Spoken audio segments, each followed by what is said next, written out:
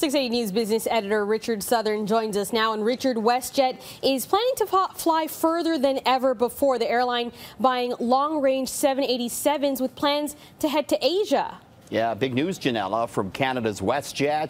Boy, that airline, it's growing dramatically in recent years, and it's going to grow even more now. So WestJet buying at least 10 Boeing 787s, brand new aircraft. These are the ones Air Canada is taking delivery of. Air Canada has about 37 of these.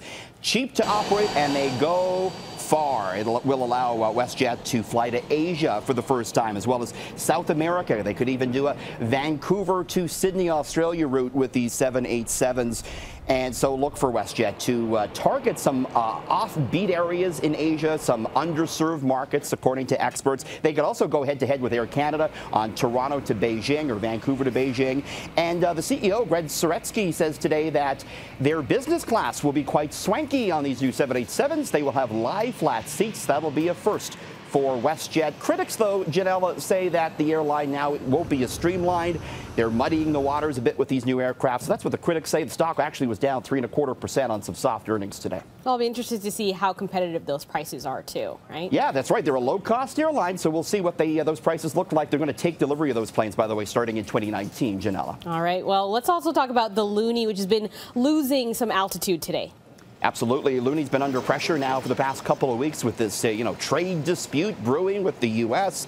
Uh, as well. Growing concerns about Canada's housing market weighing on the Canuck buck, and you add to it oil, which uh, is uh, moving lower below 48 bucks per barrel. That's pressuring the Loonie.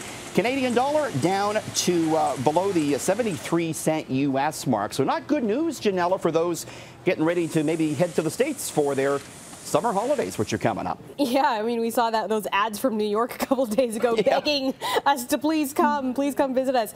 All right, so the home capital crisis continues, and that's sparking some financial worries. Sure, it's a big story, and we've been following it here on, on City News. Home capital stock, of course, plunging last week, down more than 50% uh, last week. Uh, the trouble started after it was revealed uh, that uh, some of its mortgage brokers were allegedly falsifying mortgage applications. What Home Capital does, they provide subprime loans, so loans to those people who can't qualify for a mortgage from a regular bank. Uh, home capital stock actually managed a gain of 11% today, but critics are worried that the trouble with home capital could spread to other lenders, and we actually saw another smaller lender called the Equitable Group saw its stock sell off today, and it's been down sharply. So worry about contagion here, Janelle. It's a story we'll continue to watch. All right, let's talk about Apple. Uh, they're just in with their earnings. What did they show? Yeah, a mixed earnings report. Uh, first of all, better than expected profit for Apple for the latest quarter, better than expected revenue. Their revenue for the last three months totaling 52.9 billion. Investors didn't like though the iPhone sales numbers. Company shipping 50, uh, 50 million iPhones, 50.8 million. That was less than expected.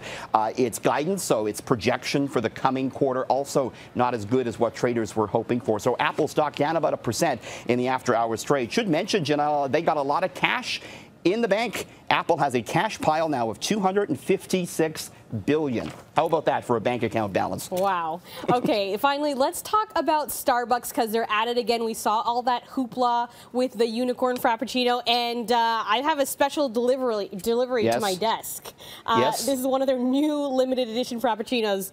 Tell us you, more. You and I, we're going to get to try. We're going to be, I think, the first people in Canada to try the, the oh. newest Frappuccino. I want to show it before we try it. They, I, I want to, but before you try it, let's take a look at it. It's called the Midnight Mint Frappuccino from Starbucks. It's made with extra dark cocoa blended with coffee, milk, and mint sugar crystals. This is trying to be, the, you know, the new uh, unicorn. Starbucks also coming out with a mermaid Frappuccino, pink oh. and purple, and uh, vanilla bean in that one. But let's give it a try, Janella. Yeah, this I don't is know the, about that one, but I I'll, I'll, try the mint chocolate chip. How about that? So here's the, it, it comes out on the 5th, so let's give it a shot Cheers and see if it you. lives up to the unicorn. Cheers. It's well, definitely minty. It is minty. Here's the thing. I haven't had sugar in like 30 days, so my taste buds are exploding right now. and I also don't drink coffee. So I may be jumping around the newsroom after I finish yes, this. We, uh, it, I can't taste the coffee in it, which you, you couldn't in the unicorn because it didn't have any coffee. So coffee drinkers might like this latest sensation. Of course, they want to be Instagram friendly. 63% of millennials say they take pictures of their food and drink. Uh, Janella, so Starbucks wants in on some of that free advertising. All right. Thanks so much, Richard. We'll talk to you again tomorrow. Cheers.